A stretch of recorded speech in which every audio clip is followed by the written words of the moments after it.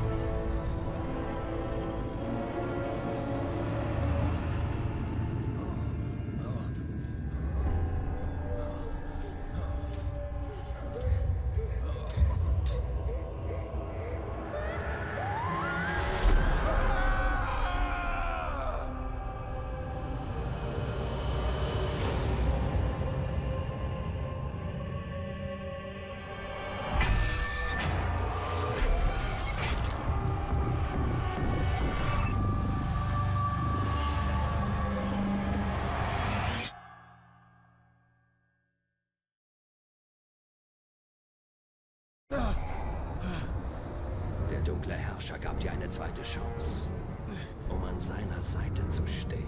Nun bleibt dir keine Wahl. Wir werden im Tod vereinigt sein. So soll es sein.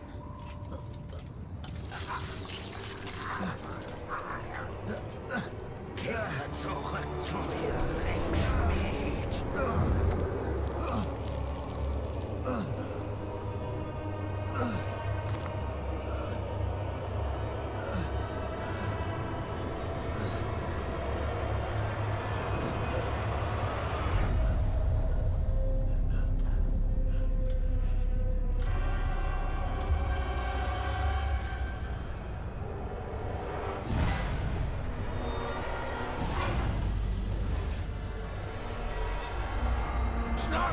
Talion! Ich kann ihn nicht länger aufhalten!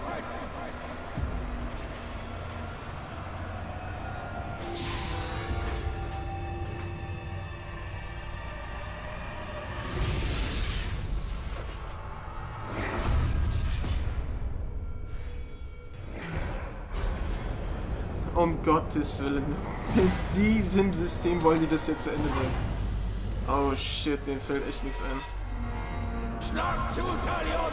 Ich kann ihn nicht länger aufhalten!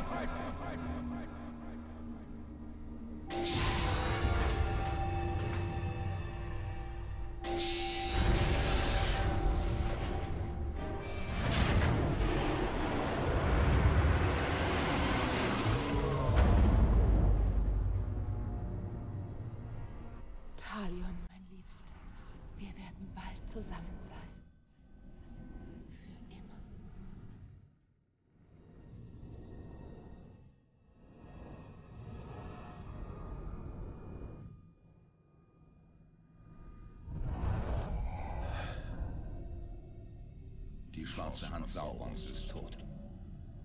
Die Ufer dieser Welt rufen uns.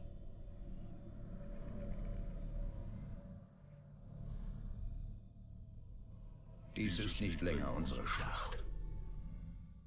Ich wollte ihn bekämpfen. Es ist nicht möglich.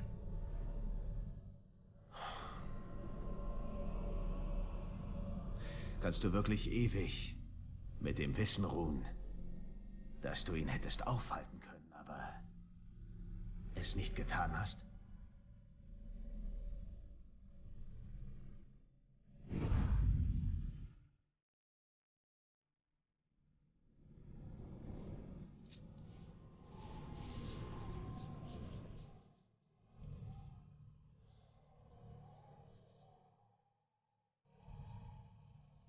Die Zeit ist reif für einen neuen Ring.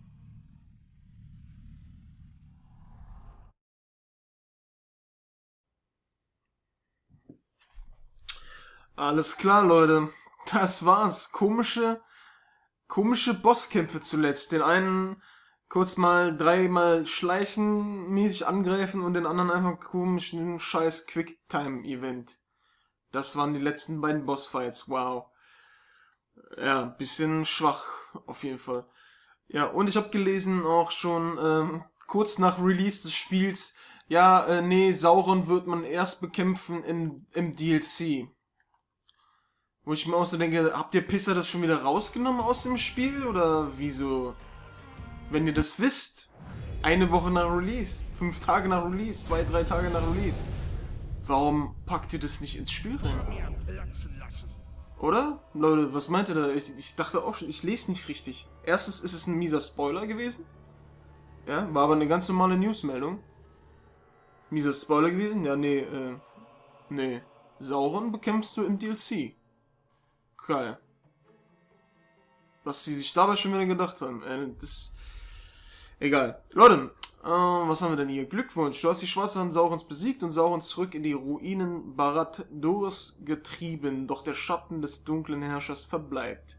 Halte den Ansturm seiner Armee zurück, indem du weiterhin Hauptmänner und Häuptlinge jagst, die die, die verbliebenen ausgestoßenen Morde rettest, die noch verborgenen Geheimnisse und Sammelstücke findest und die, Legende, die Legenden deiner Waffe vollendest. Ja, also wir können im Prinzip hier weitermachen. Nebenmissionmäßig können wir jetzt einfach weitermachen. Alter, geht's übel zur Sache. Ähm, ja. Genau, so. Also mein Fazit kurz. Mein Fazit kurz zum Spiel. Ähm, ja, habe ich ja gerade gesagt, die Bosskämpfe waren ein bisschen scheiße jetzt zuletzt. Ganz ehrlich, also den ersten, ja, ein bisschen billig. Der letzte jetzt gerade eben noch billiger. Keine Ahnung, ob denen einfach die Ideen dann komplett ausgegangen sind, aber das war echt extrem schwach. Dann die Sache mit dem DLC, finde ich schon wieder, ist eine richtige miese Verarsche eigentlich dem Käufer gegenüber. Ähm, es geht die ganze Zeit um Sauron, logischerweise geht es um Sauron. Und ähm, dann heißt es, ja, im DLC darfst du erst gegen ihn kämpfen. Fühle ich mich verarscht so ein bisschen. So, aber jetzt mal zu den Positiven zum Spiel an sich. Ähm, ja, ich habe ja, habe ja schon einige Reviews gesehen, äh, die da von 9 oder 9,5 gesprochen haben. Das ist komplett übertrieben. Einfach für mich ist es ähm, ein ziemlich geiles Spiel. Allerdings verschenkt auch dieses Spiel wieder so extrem viel Potenzial, ja. Ähm, das Kampfsystem ist eigentlich recht geil, ja, auch wenn es da schon wieder ein paar Sachen gibt, ähm, die man ein bisschen hätte besser machen können. Auch mit dem, äh, äh, äh, hier, was wollte ich sagen? Stimmt, was wollte ich eigentlich sagen? Ja, das Kampfsystem ist eigentlich ganz geil. Es macht auf jeden Fall Bock, da sich durchzuschlitzen und durchzukämpfen durch die Massen und so weiter. Da kann man schon rumexperimentieren mit einigen Möglichkeiten. Das macht auf jeden Fall Bock. Da muss man schon mal sagen, ähm, es gibt ja immer so zwei Spiele, Batman halt und Assassin's Creed, dem dem so nachgesagt wird, ja, das orientiert sich daran, Mittelerde. Also in Sachen Kampfsystem ist Mittelerde definitiv besser als Assassin's Creed, auf jeden Fall, finde ich persönlich, ja. Äh, ich weiß ja natürlich nicht, wie es jetzt in Unity sein wird. Da haben sie ja neue Ankündigungen, neue Ankündigungen gemacht und so weiter. Da weiß ich natürlich nicht, aber jetzt im Vergleich zu Assassin's Creed 4 oder so. Es ist besser, im Vergleich zu Batman ist es nicht besser. Meiner Meinung nach. Das Klettern und, und das Bewegen und so weiter, das stinkt gegen beide anderen Spiele ab, finde ich. Weil du oftmals an irgendwelchen Kanten hängen bleibst, was einfach nervt. Und, äh, aber das Allerwichtigste ist, was, wo ich ein bisschen enttäuscht bin, ist definitiv die Story. Definitiv ist die Story mal wieder, ja, nett, aber hätte man auch schon wieder viel mehr draus machen können. Es ist im Prinzip wieder eine typische Rache-Story. Das, das ist schon mal nichts Neues. Ja, ähm, wir werden ausgenutzt, verraten am Ende Story. Auch nichts Neues. Ja, jetzt nicht so schlimm wie bei anderen wurden wir jetzt nicht so krass verraten, aber ihr wisst schon, was ich meine. Und ähm, das typische, ja, den eigentlichen Gegner, den ich gerne gehabt hätte, den kann ich noch nicht besiegen. Story. Wow. Ansonsten die Charaktere, die zwischendurch reingekommen sind, waren ganz cool so. Ja, gerade Torvin fand ich cool. Fand ich auch seine Mission mit dem ganz interessant und spaßig. Aber auch da wieder die Mission, ey, die sind so kurz und eigentlich die Story an sich ist so kurz. Nur diese erstmal äh, die Häuptlinge kriegen und äh, dann und das andere in dem ersten Gebiet, da kann ich mich schon gar nicht mehr erinnern, was mussten wir da denn zum Schluss machen? Weiß ich auch nicht. Das ist einfach Spielzeitstreckung, um das nochmal ein bisschen zu strecken. Ansonsten finde ich das Spiel ein bisschen recht. Ist also einfach zu kurz, muss ich sagen. Wenn man jetzt nur die Story sieht. Weil ähm, die anderen Sachen, klar, die machen auch Spaß, aber im Prinzip wiederholen die sich auch recht schnell. Deswegen, also, für mich ist es ein richtig cooles Spiel gewesen. Ja, kann man gezockt haben. Und gerade in diesem schwachen Jahr, was wir ja 2014 definitiv haben, ist es eins der geileren Spiele. Ja, aber es gibt auch da wieder einfach bessere Sachen. Gibt es einfach bessere Sachen. Ja, oder was meinst du, Talion? Der ist auch ein bisschen blass geblieben, muss ich auch ganz ehrlich sagen. Talion ist an sich auch ein bisschen blass geblieben. Ja, er ist halt von Anfang an der gleiche Typ geblieben. Ja, ich will meine Familie rächen, das war's dann auch. Groß über ihn erfahren oder so, hast du nicht. Mit Torvin hat er jetzt auch nicht so unbedingt gesprochen.